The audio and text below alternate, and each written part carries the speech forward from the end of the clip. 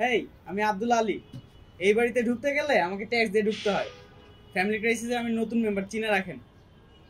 আর family crisis দেখার জন্য অবশ্যই সিনেমাওয়ালা ইউটিউব চ্যানেলে সাবস্ক্রাইব করে আসেন।